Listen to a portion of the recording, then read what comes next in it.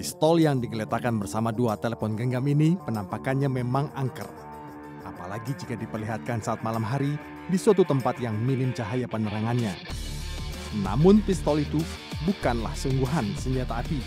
Fungsinya hanya korek api berbahan bakar gas.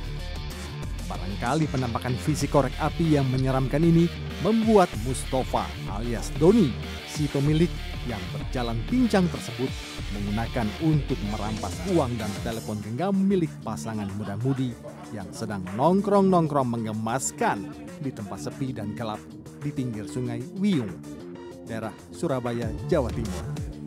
Dengan pedenya, pria berusia 36 tahun itu menyatakan kepada setiap pasangan calon korbannya bahwa ia adalah anggota reserse Polda Jawa Timur. Apalagi penampilannya semakin meyakinkan dengan membawa pistol mainan tersebut. Siapa pun pasangan calon korban yang lagi asyik-asyiknya pacaran di tempat sepi dan gelap pasti kagetlah dikep oleh Mustafa yang datang dengan menaiki sepeda motor mengaku anggota serse lalu menangkap dan menggertaknya, mengajak korban ke kantor polisi untuk diperiksa. Pada akhirnya, jalan damai pun ditempuh oleh setiap korbannya yang merasa ketakutan dan menuruti permintaan pelaku menyerahkan uang dan telepon genggam milik korban. Tak sampai di situ, Mustafa juga ingin memperkosa cewek pasangan korbannya di pinggir sungai Wiyung Untung saja aksi bejatnya dapat digagalkan oleh warga yang lagi melintasi lokasi. Jadi dia selalu mencari sasaran di tempat-tempat yang sepi.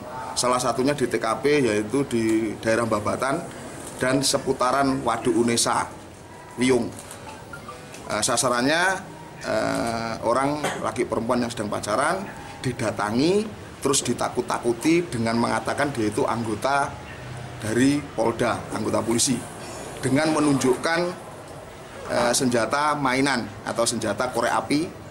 Uh, selanjutnya korban ketakutan, terus HP sama barang-barang lain dirampas. Kejadian ini sudah tiga kali, yang di Mbabatan dua kali, yang di Waduk Unesa satu kali. Korban, uh, korban yang di belakang SMP 34 itu sempat akan diperkosa. Sudah sempat celananya disuruh lepas dan sempat ditindis di apa namanya itu di mau diperkosa sempat dipegangi eh, ada orang lewat akhirnya nggak jadi dia lari. Kini Mustafa, si polisi Serse Gadungan, berada di kantor polisi yang asli Mapo Restabes Surabaya ia harus berkantor dari balik sel penjara tahanan untuk bersiap menjalani hukuman selama tujuh tahun.